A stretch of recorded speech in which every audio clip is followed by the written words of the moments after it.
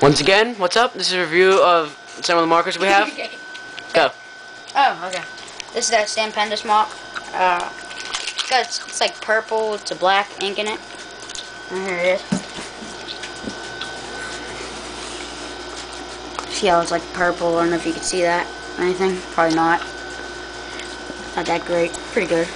Get some drips if you want.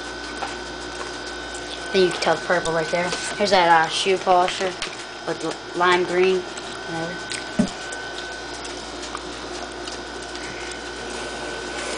Pretty good. It's good ink. Okay. And it Uh, stinks over here. I'm sorry. Um, this is the ink, but we put that ink we made in our other video in a Stecco. It's pretty good now. There's a line.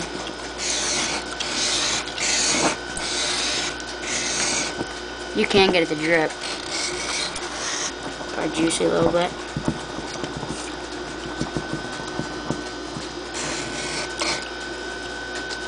Yeah, I don't think it wants to drip.